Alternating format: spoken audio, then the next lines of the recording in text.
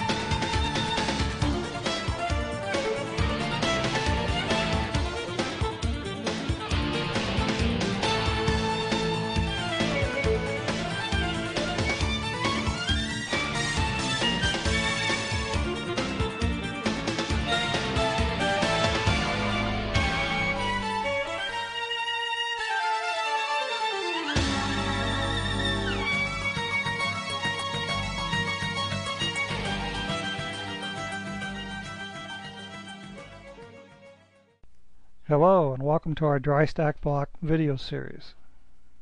As you can see from the introductory video, the house walls are completed and now we're going to demonstrate how to build the attached garage walls. On this house plan, the major house is completed, all the solid block walls are finished. What we're going to do is work on the garage in the corner here. The original plans called for a carport. We later decided that a carport would just collect leaves and we decided to make an enclosed garage. So this video will explain how to build the walls that form this garage. This way you have a complete understanding of the wall construction from the very beginning of formed footers all the way up to the finished rebar and the lintels awaiting concrete bond beam. Here we have a bird's eye view of the forms which will form up the footer. Uh, the camera lens distorts this picture and makes things look out of square. The corner of the garage really is square and the walls on the house really are not sloping. The camera lens just causes this effect. Notice the L's laying on top of the forms. That is the rebar that goes down inside the footer when the footer concrete is poured. After you pour the concrete, you insert this L bar down into the white mark on the L on the L that sets the proper depth of the L into the concrete. And these rebar will attach to the wall cell rebars later and makes a very solid wall structure. This is a closer view of the footer forms. Notice how that there are two rebar in the bottom of the footer. They sit on things called chairs. These little wire chairs hold the rebar two and a half inches above the soil.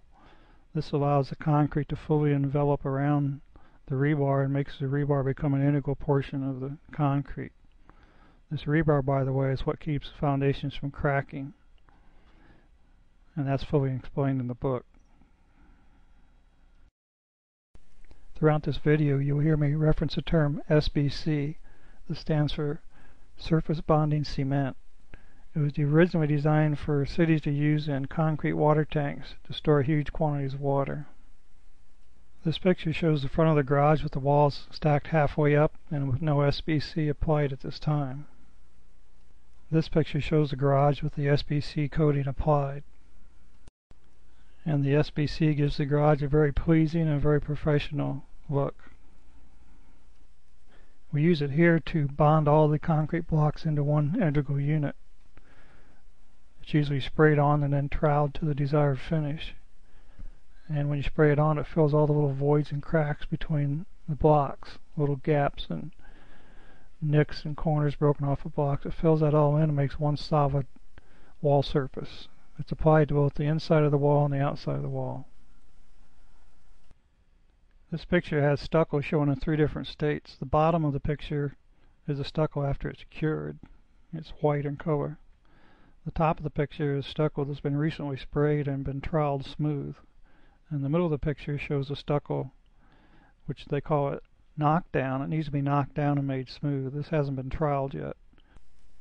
This is the way the stucco looks when it's been sprayed on the wall. The knockdown is troweled to make the surface flat. You may not want a smooth surface, but you want a flat surface. So you trowel it flat, and then you trowel in your pattern if you want a pattern, or you make it smooth if you want a smooth result.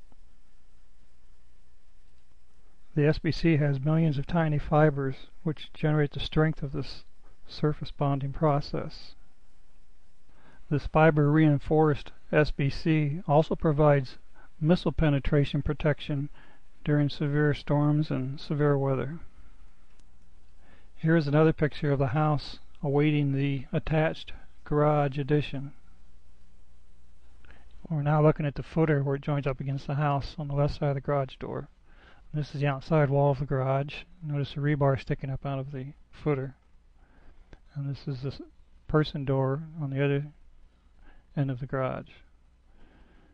These rebar that are sticking up don't always fall vertical and plumb when you put them in the concrete, but that's okay because after the concrete is set for a couple days then you can bend the rebar to make them vertical. Don't try to bend them during the first day because they'll, they'll wobble, wobble out the hole in the concrete and won't be nearly as strong. Once the forms are removed, it's best to re-level the, the ground around the work area. That way you're working on a nice flat surface instead of some uneven surface which could actually sprain your ankle. So this is one last look at the cleaned footers ready to start the wall stacking process. Here we have a little ridge in the top of the footer. And since the footer is only a couple of days old, it's easy to take a 3 inch chisel and knock this ridge off best to smooth out the footer as much as you can. That way you start with a smoother surface, it's easier to mortar the blocks and you end up with a better result. If you were to wait a month before you tried to knock this ridge off, the 3 inch chisel just wouldn't do the job. It would be far too hard. So now you can see the before and after of leveling the little ripple on the foundation. These are the tools I use to level to clean the blocks. The blocks have a dirty edge on the bottom side of the blocks, and when you place them in a mortar, it doesn't matter. But when we're stacking blocks, these ragged edges cause problems. So I like to clean them so we have a nice smooth edge. Here's a picture of a block that's been cleaned. The hump the, is always in the middle of each web. Hopefully your blocks will be of better quality.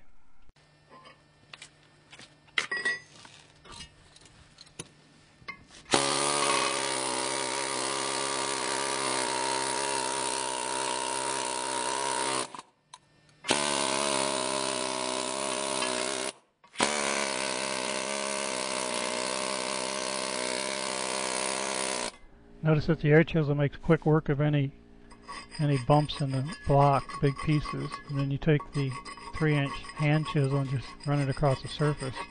That knocks off any little slag imperfections from the mold. You end up with a very flat surface on the block, and this is the bottom side of the block. Notice how imperfect the foundation is here, different gap spaces underneath the block. This is why you have to mortar the first row to get everything back normal. When people pour foundations, they do not do exacting work. And here's some voids in the edge of the concrete. In this video clip, we're looking at a test placement of the first row of blocks. When you're uncertain about a wall segment, you might want to go ahead and drop the blocks in place and see how everything works out. Remember, the second row has to work out too, not just the first row. So make sure you always, if you're really concerned, you should stack the first two rows as a test case before you start mortaring. This cheap table saw is what I use with the diamond blade cutting blade to cut the blocks. I cut my own inspection blocks. I would not have to bother with special ordering. And the pieces laying here, six pieces out of six inspection blocks I made out of regular full-length concrete blocks. Let's talk about these house walls for a moment. The sun is nearly high noon and it causes deep shadows to be cast. So when you look at this house corner here, it looks like third row up looks like the blocks are really out of alignment. And there's a deep shadow just below the third block, and it's really not that bad out of alignment. The alignment's off about a sixteenth of an inch, and the SBC is at least an eighth of an inch thick, so it'll cover this slight misalignment. I just want you to know that the sun shadows make everything look really extreme. You will also notice that several of these blocks have extreme gaps between them. And uh, this is a result of the blocks being different heights. When I did the first six rows of the house, I didn't understand about blocks being up to a quarter of an inch different in height, but they are. So these blocks were not sorted by height, therefore there's all these little gaps. Notice how this wall looks good overall. This is because all these blocks have been sorted by height and there's no difference in, difference in height between adjacent blocks. The exception is this half block on the right hand side of the picture. This half block is a sixteenth of an inch taller than the whole block next to it. Notice how it kicked up the block above it. So you do not want different sized blocks in a wall. You can have different sized blocks as long as each row has the same size blocks. Never mix block sizes within the same row. Otherwise you get these gaps and it also makes bobbles in the wall and the wall becomes unlevel up and down. When you apply the SBC it will fill these slight voids, these slight gaps and make a structurally sound wall plane on the outside of the wall. Same way with the inside of the wall. Any gaps are filled by the SBC, so they're not to be of any great concern. I point this out because the wall can look real ragged in one picture and real smooth in another picture. The only difference is the shadowing effects of the sun. These two stacked blocks form the hook for the string line. It leans against the house and notice the string line has a nail behind it to keep it one eighth of an inch from the wall of the house. This spacing keeps the blocks from touching the string as you place the blocks. The stack of blocks at the other end of the string line are for hooking the string line and supporting it. This stack of six blocks securely holds this end of the string line. This is called a mason's block. You set the string so it's six inches too short, you wrap the string around the block, and then you pull the block tight and hook it on the concrete block. This supports that end of the string line. Now we have a string under tension which forms a nice straight string line. This line will be the reference to place the first row of blocks. It will set the height and the straightness of the row of blocks. This is the left side of the garage door where it attaches to the house. Once again we use two stacked blocks to support the string and a nail to push the string out an eighth of an inch. So this line will set the reference point for this end of the garage wall. This string continues across the garage door opening and sets the right hand side of the garage door opening. This string is also connected to a stack of six blocks and these blocks also connect to the wooden mason's block to hold the string in place. Where the two strings cross, that is the corner of the garage corner. So we can adjust this corner up or down, left or right by moving the strings and set the corner exactly where it's supposed to be. Now you check down the length of the string to make sure that none of the blocks are equal to or higher than the string. Ideally, ideally you want the block at least a quarter of an inch below the string. That way you have room to place the mortar underneath the block. If you should find yourself in a situation where the space is not a quarter of an inch below the string, the top of the block, then what you may want to do is raise the entire string on both walls a quarter of an inch. It's much more important to have a nice straight and flat mortared first row than to have the first row the exact height of the wall. If the height of the wall is off a quarter inch, the trusses really won't notice that over a span of 34 feet. So it's better to have it flat than have it the right height. At this time we have placed and mortared the first row on the left side of the garage door. Notice that the string has been slacked off. I slack the string whenever possible to keep from stretching the string. That way the next time you put the string back on the hook it's, it's tight again. The spacing between these two blocks was on purpose. We want to be able to set the garage door opening exactly where we want it and set the outside corner of the garage wall exactly where we want it. This spacing provides for the necessary adjustment. When you strike this block, just continue right across the inspection hole opening as if it didn't even exist. Uh, when you strike the block, make sure you don't have any mortar where the next block has to place and butt up against this block. And last but not least, we have the final people door opening block, which is placed in line with the people door opening. Extra effort was taken to ensure a nice clean junction between the block wall and the footer. This people doorway here will have the garage slab protrude out through it. The garage top of the garage slab will be 4 inches below the bottom of the block row. When the door is installed, the door's sill will set right here and will have a nice fit between the house wall and the end of this garage wall. When you take your time and mortar the first row properly, you have a very nice, stable, flat platform for stacking the rest of your blocks. The stacking process will go much smoother when you have a nice, flat starting point. Here we have the third row stacked up against the house on the right hand side of the garage door. Notice the cutout in the foundation, that is for the garage door tracks when the garage door is installed in the future. Next we're going to start sweeping down the people door down the long length of the wall and there's one item I want to look at here and it's this, this weird block right here in the middle. This closing block was one eighth of an inch too long so it was cut into two pieces and the two pieces are placed back into the closing opening which now fits because the saw kerf cut through the block made it an eighth of an inch shorter. You could also make a second pass down one of the block pieces to make that block piece even shorter if required. This picture was taken after the wall cell was filled with concrete, therefore the inspection block hole was filled with concrete. As we continue on down the garage outside wall, we eventually come to the corner section down here. Notice in the footer here that we have fixed the voids in the footer with mortar. This is a cosmetic issue. The SBC will later cover it and make it strong. So this solves that ugly corner. I stacked these top two rows without a string on purpose. I want to demonstrate how the far blocks down their way towards the end of the wall start to curve. Even though I'm stacking them as straight as I can get them, looking at adjacent blocks, the actual wall curves towards the end. This is the same wall after the blocks are adjusted back to a string line. Notice how the distant blocks down there are nice and straight and they line up with the wall at the house on the other side of the people doorway. It's imperative that you use a string line on each row that you stack, otherwise it, the wall makes a gentle curve which you don't notice, but when you're finished you have a big bow at the top of the wall and that's unacceptable. Here we're going to discuss a defect in this wall. This block is lower on the left hand side. It's lower by a good eighth of an inch. And I think it settled after it was placed. This block, the other end of the block is like a sixteenth of an inch lower. So this low block is going to cause problems throughout the rest of the wall.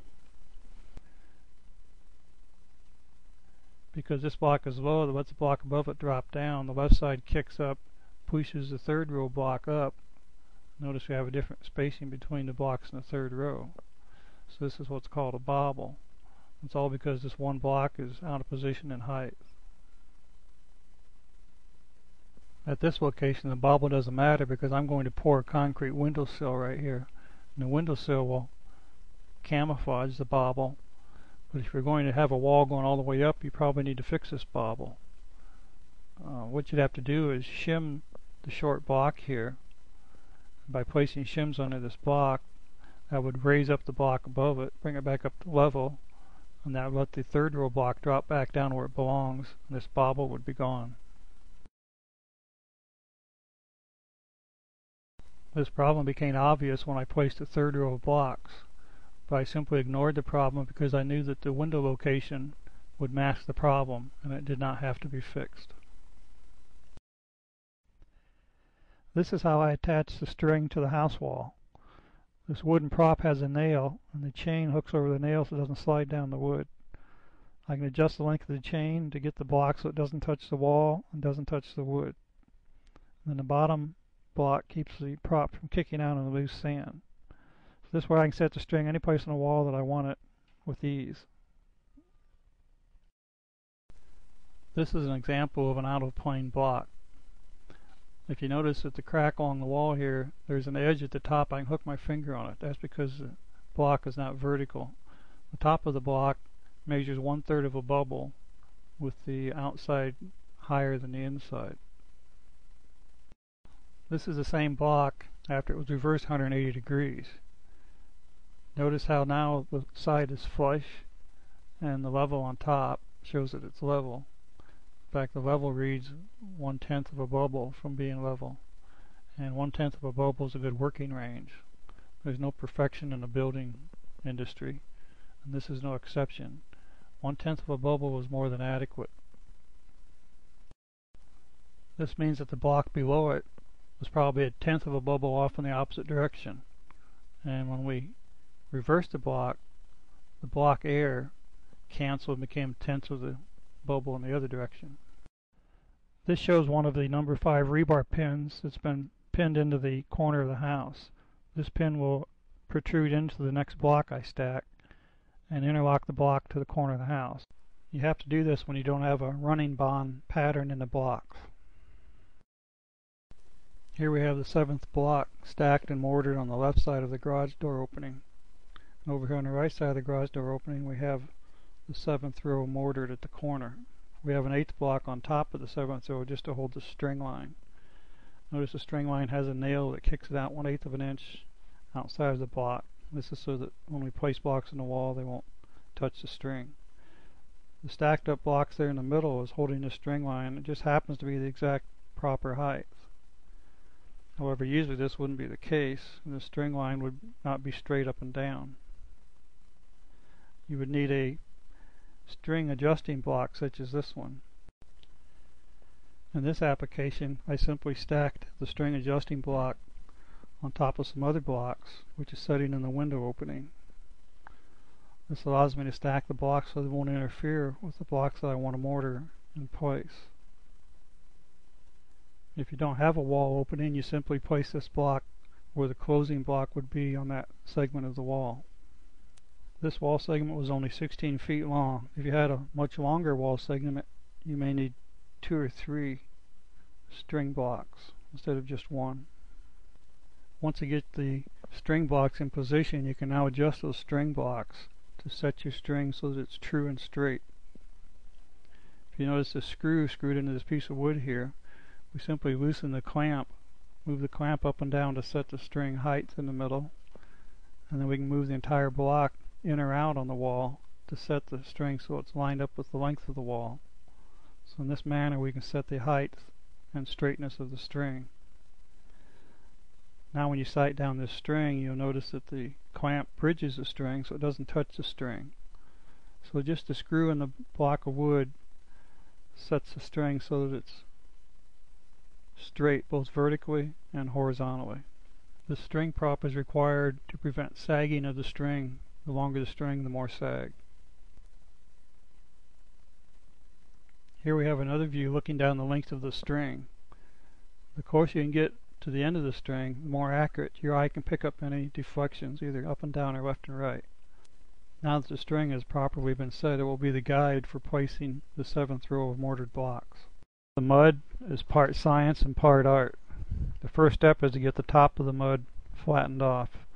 This gives you a nice smooth surface. When you slice on a small section, it will have a fairly uniform width. A uniform width is what allows you to achieve a uniform thickness when you place it on the wall. When you place this uniform width on the wall and you drop a block on top of it, then it squishes to a uniform thickness under that block, and that's the goal. Placement of the mortar improves with practice. Here I'm dropping the first mortar onto the wall. I got a little bit too far inside on the edge, so I, there's nothing to wipe off the outside. If it was too far on the outside, I could push it back on by stroking down the corner of the block. So as you continue to place mud, you want to try to keep it uniform width, uniform height down the length of the next block. And it's an inexact science, so nothing's perfect. You just approximate, hope for the best. Once you get towards the end, then there's a closing crossover there. I like to put mud on a closing crossover. That makes the end of the block more stable. Has less chance of settling down at a later time after you've already positioned the heights of the block. At this time I'll go fetch the block. First I have to put on my gloves, then I'll walk over and grab the block and come back and place the block. At this time the block is coming up and dropping down on the wall. I want you to notice that you touch it, the block against the previous block and you drop it straight down on the wall. This block plays fairly well. It's a quarter of an inch high and it's pretty much parallel with the string. It's parallel across the wall. So it takes very few taps to bring this block to the correct height. You can always align across the wall level of the block with the previous block because that's already been leveled previously. So once you do the cross the wall level against the previous block, then you set your down the wall level with the four foot level. And then once you get everything real close, then you fine check by doing across the wall with the level and do fine adjustments on the length of the wall with the four foot level. Here this corner, right hand corner is just a hair high. So you tap it lightly, bring it down to the level touches the surface of the previous block and the current block. Now I go and sight down the outside of the block to make sure it's lined up with the line and that block is now properly placed. In the next sequence, I grab the right end of the block, and I should have grabbed the left end of the block. In a moment or two, you'll see why. While placing this block, we're going to demonstrate how you can hold one end of the block. If you grab one end of the block, such as the right end here, and tap on the left end, then the right end won't settle nearly as much as the left end does. It will settle somewhat, but it reduces the rate of travel. So this is how you control how you want the block to settle. Uh, once you have it set across the wall, then you go ahead and continue to fine adjust the length of the wall adjustment. This particular block is doomed from the very beginning. Notice how severe the angle of the block is with the line. The right end of the block is way too high. And because of that, this block will never set properly. No matter how much I beat on it, I'm going to eventually compress the sand enough that the sand in the mortar won't let the mortar go down any further. And at the same time, the left end of the block is going to keep settling every time I type, tap the right end of the block. So eventually I'm going to reach a point of critical mass here where the left side of the block drops below the previous block where we are right now and the right hand side of the block is still way too high. Here I'm adjusting the in and out adjustment but the whole thing is just an exercise of futility at this point. This block is wrong. This block needs to be removed and done over. At this point in time, you can keep fooling with the block, but you're just kidding yourself because it will never be right. If you notice in this picture, the left end of the block is an eighth of an inch below the previous block. It settled that much while I was tapping the high right end of this block. So, two options here. We can remove the block and redo it over and do it properly. Or you can say, you know, it's been a long day, I'm tired, I'm lazy, I'm not going to do it over. It's off an eighth on the end, it's only off a sixteenth in the middle. The next block will stack between these two points. It won't stack in the middle here, so the next block will be only off a sixteenth of an inch on one end if I just let this problem go. So that's poor rationalization. The correct fix here is to pull the block out and do it over. Just remember that the air in the middle is only half the air on the end. So things aren't really as bad as they look. But why, why build a house and do it in a sloppy manner? So it's time to go ahead and pull this block off and start all over. Once you remove the block, you have to scrape off the old mortar. You cannot replace a block on old mortar. What happens, the water squishes out and it doesn't make a good bond. So you take your trowel and scrape off the mortar. Notice this mortar is flexible. That means it's plastic. It's the term they use. So long as it's plastic, you can add water to it and remix it and use it over. If it wasn't plastic, you'd have to throw it away at this point. So this mortar is still plastic. I'm going to reuse it. Notice this last piece here is only a quarter of an inch thick. So what I want to do, I want to place thicker mortar on the left hand side of the next block and thinner mortar on the right hand side of the next block. This is because that this block we're mortaring on top to, you notice it's going up as it goes to the right, to the window opening on the right. So I'm placing thicker mortar in the beginning and thinner mortar on the right hand half of the next block. This will make um, better odds that the block will fall properly and remain fairly level with the line because that's the goal. So one nice thing about this job, if you don't like the results, you just scrape it off and do it again.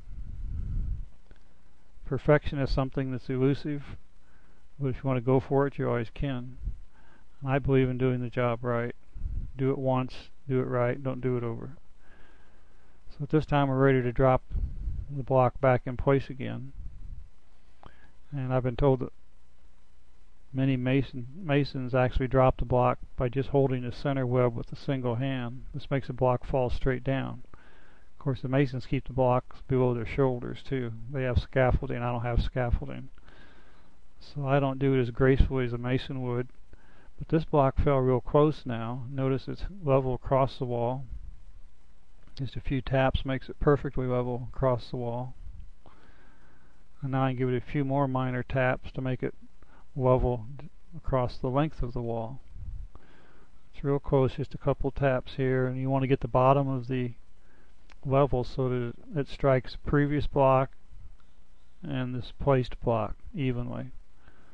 That way, this is the fine adjustment for interblock leveling. So one last check across the wall. And notice the string in the back. If you're bumping the strings to the level, make sure you push down on the level hard enough to move the string. At this time we're ready to strike the mortar on this wall. The mortar has to be pressed in, which makes it more dense, and since it's more dense, then it's stronger. So you need a striking tool, which is a specially shaped tool, and a bucket of water. And basically you go down the wall here and you press the excess concrete into the groove, compacting the mortar so that it's more dense. The excess you either collect in your hand or let it fall in the in your mortar tray, or you just let it fall on the ground and waste it. Choice is yours. Uh, one recommendation, you don't use your hands. I'm using my hands here because it's real quick. It's only a couple of minutes. But the the concrete's very hard on your skin, so you probably should wear pair of gloves if you do a lot of striking in the same day. If you don't wear the gloves, you have to wash your hands with water immediately after you're finished handling the concrete, or your hands will get very raw and very cracky the next day.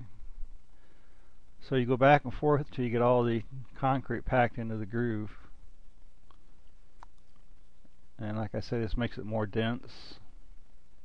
You go back here, I'm filling voids right now. There's a few voids where the mortar wasn't placed properly on the block, therefore the block didn't squish out completely. So I'm packing moist concrete, moist mortar into those grooves, and now I'm doing the small groove for the half block. I'm using the other end of the striking tool for the small groove because it's got a smaller radius. Always pull away from the corner when you're trying to strike a corner because if you pull towards a corner it will actually pull the mortar right out of the crack. So once you get everything filled in then you go back and you smooth it down one more time. At this point I'm going to scrape off the excess mortar which develops around the edges. There's a little void right there, but we don't worry about it because the SBC will fill that in later.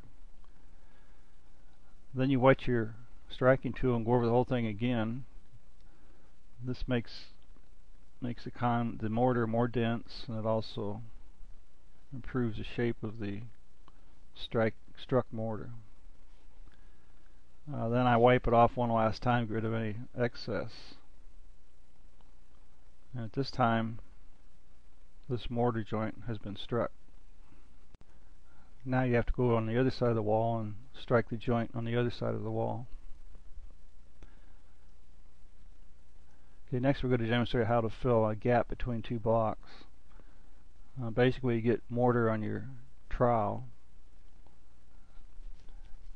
and you hold the trowel up near the bottom, and you just take the striking tool and push the mortar off of the trowel into the crack. As you do this, you keep raising the trowel and keep pushing more mortar. If you stop and move the trowel, the mortar would just peel right out and roll right out of the crack. So when you get towards the top, then you go ahead and you make sure it's packed tight. You remove the trowel and you strike the tool down and that packs it into the groove. And you place the trowel back up against the wall and continue stuffing the rest of the crack. Like I say, the, the very last part you stuff has to be stuffed very well, it, or otherwise it will roll out of the crack. So once you've stuffed it properly, then you pull off the excess concrete back onto your trowel, and you can throw the trowel back into your mixing tub the professional masons, they waste more mortar than they use. Since I'm paying for it, I prefer not to waste it. So when do you fill a crack and when you do not fill a crack? My standard is if the crack is less than a quarter of an inch, I do not fill it with mortar. If the crack is greater than a quarter of an inch, then I fill it with mortar. There's two reasons for this rule. The first reason is that less than a quarter of an inch, the SBC will penetrate into the crack and make a very strong joint at that crack.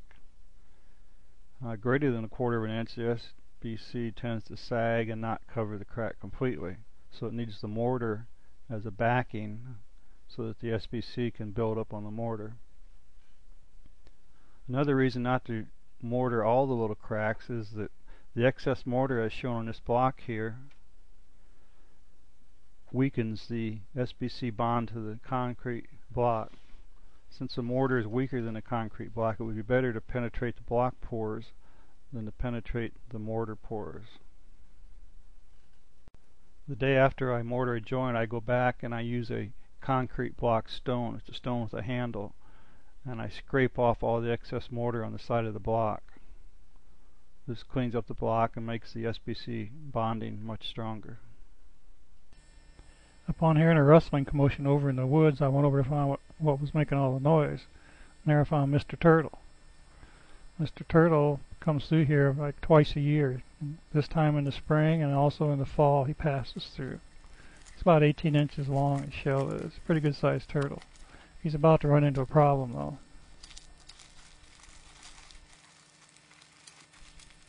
Mr. Turtle, he's a lot like us. Sometimes he takes the wrong path in life and he comes up against an obstacle that he can't get around. So pretty soon he's going to realize that he gets hung up on these twigs here. So just like us, he has to say, okay, let's go to plan B here. This isn't working. So he backs up and goes around the obstacle. So the turtle never gives up. He still gets where he's going, even though he has to go out of the way a little bit. And just same as a turtle, we can't give up. We always solve whatever problem comes our way, just solve it and keep going on. And Mr. Turtle will be back again in about six months. At this time I've completed mortaring in all the closing blocks for row 7. So now we have a nice straight and flat row 7. This will be the base for the top half of the wall, which will stack upon this nice stable platform. All this work pays big dividends because now there's no bobbles in the walls that go above row 7. And we have better chance having an excellent result when we're finished. Notice how the mortar joint gets thinner at the right hand side of this picture. That's the row 7 mortar joint. That's because it's half block, one block below. The half block is a 16th of an inch taller than the block next to it. Because of this, the, it kicks up the block above it, and that closes the gap on the mortar joint on row 7 and makes the uphill slant we see that row 7 mortar has to fix. Because the row 7 half block at the top right hand corner of this picture, it is also too tall, therefore it further aggravates the problem. We end up with a very thin mortar line between row 6 and 7 at this mortar joint. This picture shows the other side of the same window opening. And notice this half block, I've cut it to be exactly the same height as the block beside it. And that allows this particular row to stay nice and flat and level. And this is the solution. What you do is you drop the reference block into your on your saw table. You take a 2x4 and you clamp it with the reference block up against the saw blade. And you out the reference block, turn on the saw, and run a half block through there and it'll match almost exactly. And that that is my solution for fixing these half block problems which result from the half block being just a little bit taller than the rest of the blocks. I found this to be a common problem and this is the easy fix for that problem.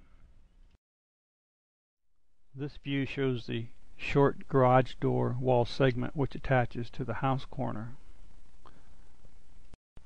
This short wall segment is stacked 10 blocks high. Notice the pins above it. On row 12 there's a pin placed into the house corner. This pin will keep this wall from ever moving across the house corner. And there's a rebar that drops down through both cells of this, this short wall segment. This stacked column of blocks will have two rebars, one in each cell. The left cell ends up over the rebar protruding up from the footer and this one filled with concrete makes a very strong doorway opening for the garage door. The other cell will also be filled with a rebar and concrete. The filled cells make this short wall segment very strong even though it does not have a running bond block pattern. The rebar sticking out at the top corner of the house is an extension of the house bond beam rebar. This rebar will overlap the garage header rebar and when you pour the garage header this will lock this short wall segment with the header snugly against the house. It can no longer pull away from the house because the bond beam rebar in the top will join the house wall and this wall segment. This picture, which was taken much later, demonstrates how the vertical rebar tie into the horizontal rebar and attaches the top corner of this wall. When the header is poured, all this rebar interlocks and the interlocking action makes this corner very solid and this column of stacked blocks will never separate from the wall. This video clip will have um, several issues demonstrated. We're going to dry stack three blocks here my ladder is a little rickety. I get a lot of uh, amazement from people. How can I work on such a rickety ladder? But I've gotten used to it. The ladder and I move in unison, and I've never fallen. And it's also setting on unstable sand, so it makes the ladder very unstable. Notice I placed the first block, and it didn't check level across the wall, so I rotated it 180 degrees, and voila, what do you know, it checked level across the wall. All these blocks are on a plane a little bit, so basically the row below it is on a plane sloping one way, and then the row, the next row on top of it has to be on a plane the opposite way to make it come out level again. I have an additional handicap. I've been these blocks have been moved since they came off the original block pallets. If you have the original blocks on the pallets, then the pallets are all similar. In other words, the air is the same on the pallets. And if you look at a block See now this block it's stacked level so I don't have to rotate it. If you look at the block on the pallet at the top of it you'll notice that one side is just slightly thicker than the other side and that's your reference. So on one row you'd stack the thicker side outside and on the next row you'd stack the thicker side on the inside. In this case all the blocks have been moved away from the house when the house was finished and they got all mixed up. So I have to check each one and I probably have to reverse half of them statistically.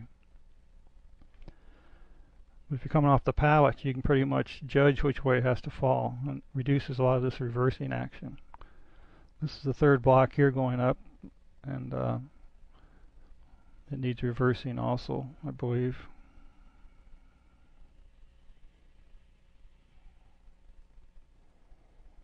Yes, it needs reversing.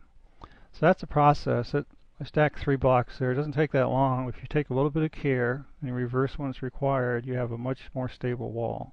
And this wall will stay plumb vertically.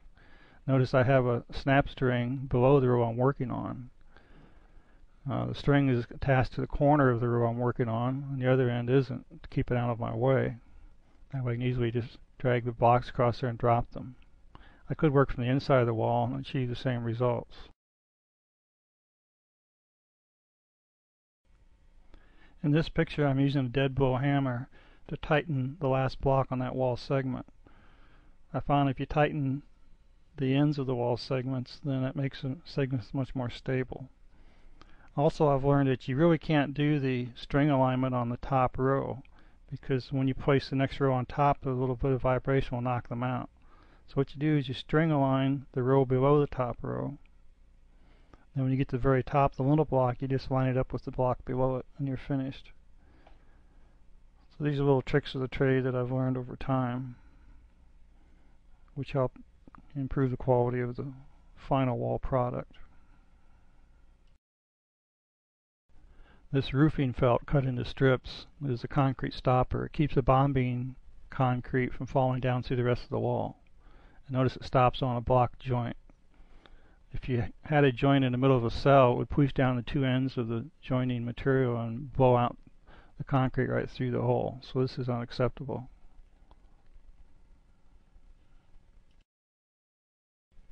Instead, you bring the next piece of felt up to the block joint that we have solid felt over all the cells. Notice down at the end, I have another overlap. I have to cut this felt back and place a short piece on that last block when I get to that point.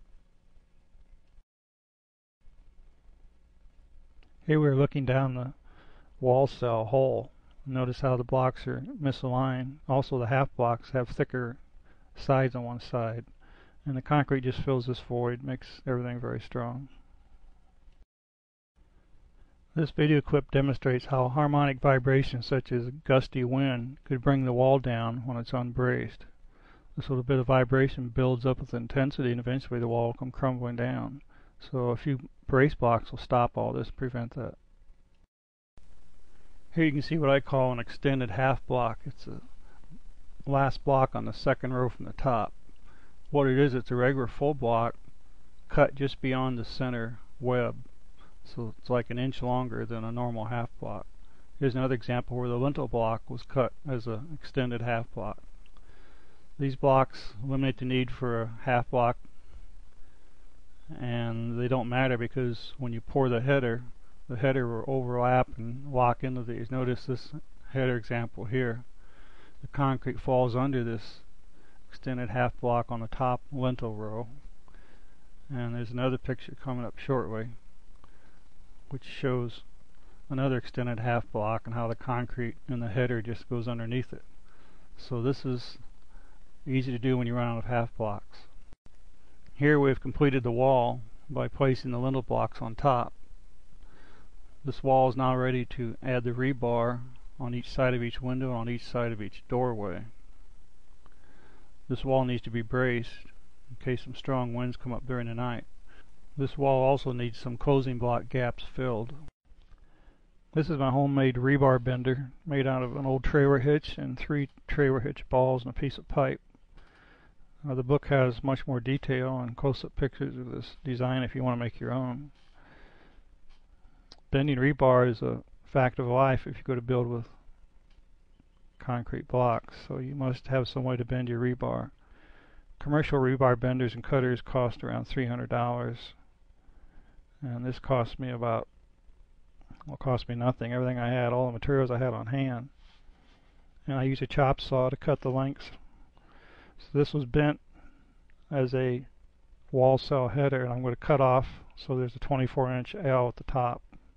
So I'm carrying it over to the chop saw where I'll cut off the L to 24 inches on top.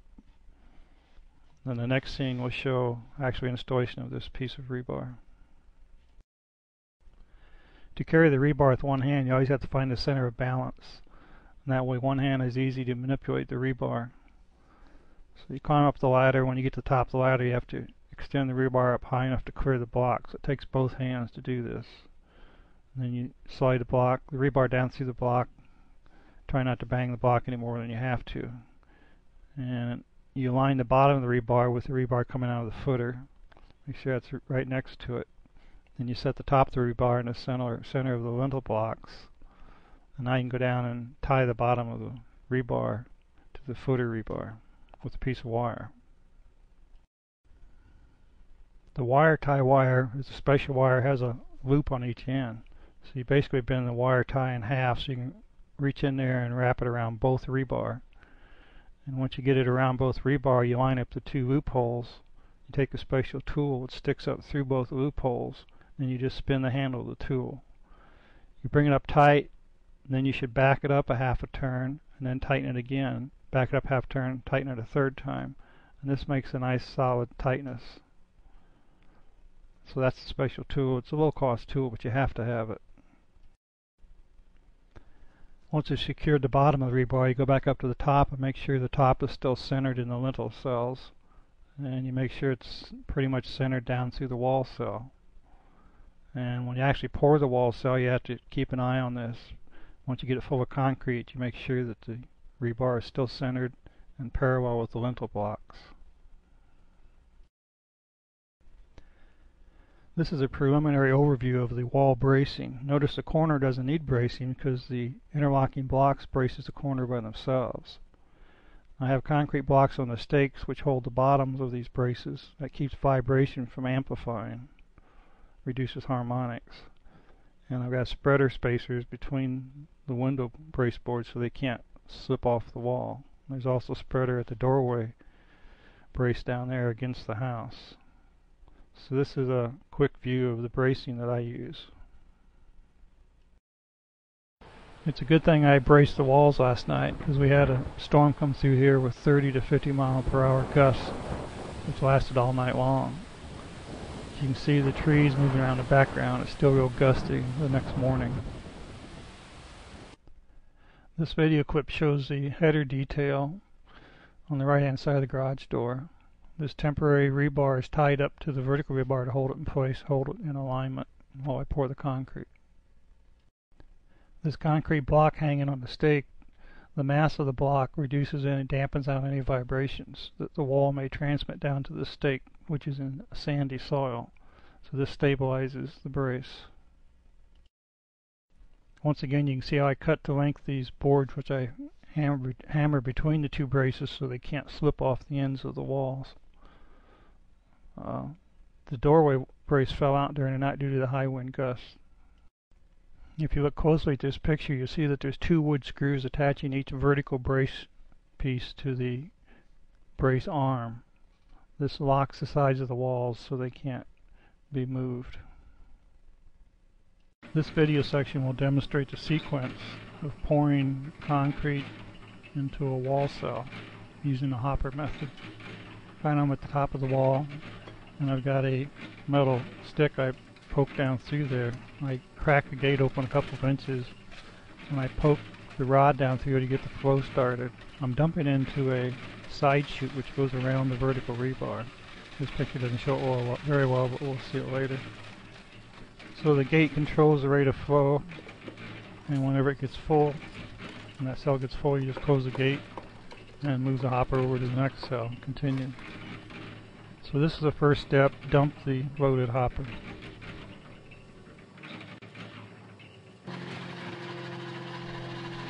Next step is to boom up the boom to bring the hopper back towards the mixer away from the wall. And then simply just lower the hopper straight down and drop it down in front of the mixer. All the time this is going on, there's water in the mixer which has been cleaning the mixer.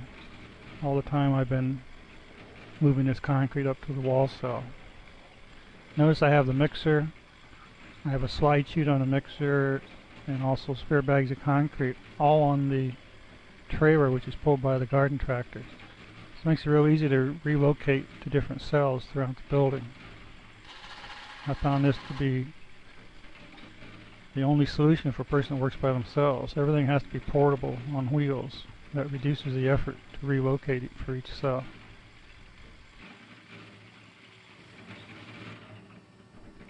Now comes the hard part. You got to grab the 80 pound bag, hold it close to your chest, which reduces the stress on your lower back.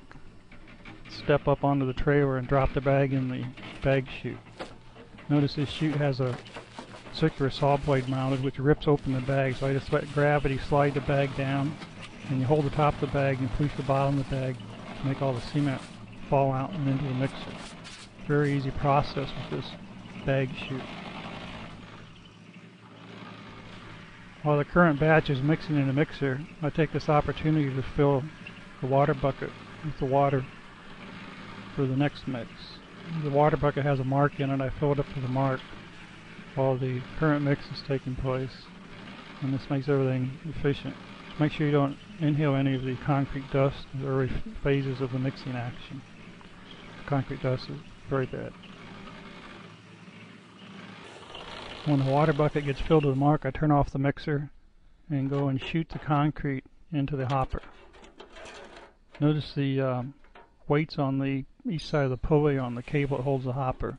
These weights make tension on the cable while the hopper sits in its holding area and lets the bar swing down out of the way. Without these weights, the cable would twist around and make a big mess. Now the hopper's been filled and it's time to add the water to the mixer for the next batch. And this way this water cleans out the mixer while I'm taking this batch up into the wall cell. The sequence keeps everything flowing in a uniform and efficient manner. Now I simply let the lift do all the work and I push buttons and the electric motors take the hopper out of the hopper stand you notice the rope tied here on the side of the hopper. That goes to a counterweight on a pulley. The counterweight keeps the hopper from rotating and keeps the wind from blowing it around once it's up in the air. Works quite efficiently with this counterweight.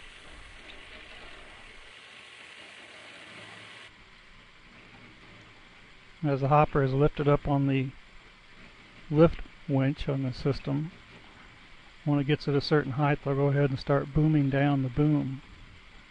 So two different switches. One switch runs the hopper up and down. Another switch runs the boom up and down. I have a third switch which rotates the boom left and right. So as the hopper gets up in the air, I'll start lowering the boom. You can run the two at the same time. You can be lifting while you're booming down. And you're going to see that right now. It's still lifting and it's booming down simultaneously. If you get good at it, you get so the hopper ends up just about right where you want it. Today I'm being more cautious for this video. This picture demonstrates how the side chute allows the concrete to fall from the hopper and be side chuted over into the cell and wrap around the rebar. This was made out of just plain old sheet metal, just form the shape of the chute and then there's two metal wires at the top of the chute. They tie onto the rebar hold the chute in place and you just place the hopper, hopper over the chute and let the concrete fall down through the chute. The wall cells have all been poured and allowed to cure for a day or two. Then it's time to install the header and the bond beam rebar, which is shown here, it's shown in place in this picture. This is the garage side of, I should say the house side of the garage doorway opening. We've seen this picture earlier. It shows how all the bond beam overlaps. It makes a very solid header which is attached firmly to the house due to the bond beam rebar extending out from the house. These rebar overlap 24 inches and when you pour concrete around them they become one unit. This shows the other side of the garage door opening where the bond beam makes a bend and goes around the corner. Also shows the vertical rebar in the side of the garage door opening, how it ties into this bond beam rebar. And here we have the braces removed. With the poured cells you no longer need the braces, at least not from my opinion. I've never had a problem with this method. Another close-up detail of the window rebar showing all the rebar interacts. When you pour the header concrete, this is a very solid window opening. Here we have a shot looking down the lintel blocks going towards the house and the people door in the garage. Notice the rebar doesn't have to be straight, it just has to be in there. The concrete will overlap it all make one integral unit. So at this time the wall is finished. All we need to do now is add the forms, pour the headers, and pour the bond beam. A dry stack block home has many advantages over conventional home construction. There are no expensive forms required, such as when you build with concrete. One person can complete most of the work, just one block at a time. You can also stop anytime you feel like it. The home will be very strong and waterproof. Water cannot penetrate these walls. A dry stack block home can keep you comfortable year round while reducing utility bills due to its thermal mass. There's no drafts to penetrate the home envelope. The dry stack block with the SBC coating makes the walls draft proof. Concrete blocks can be purchased almost anywhere, and they're also easily transported to unusual site locations because you can take them one block at a time, one block at a time if you had to. These block walls resist high winds, fire, and insects cannot penetrate these walls. The SBC coated block walls do not promote the growth of molds. There's nothing for the mold to feed on. It also provides excellent soundproofing from outside noise. The best part is that it's easy to design house plans for dry stack block because of the empirical design standards that all building codes already have in place. This tried and proven method of using concrete blocks has been around for decades. These concrete blocks can be stacked to form any shape or size of home that you can imagine. The dry stacked home is a solid investment for your family, both in terms of safety and value. During severe weather situations, the block is not easily penetrated by flying debris because of the SBC coating. Also, the dry stacked block home requires far less work to keep it looking like new. Once again, the SBC coating gives you a stucco appearance that's cover fast and at least an eighth of an inch deep and it's impervious to outside damage.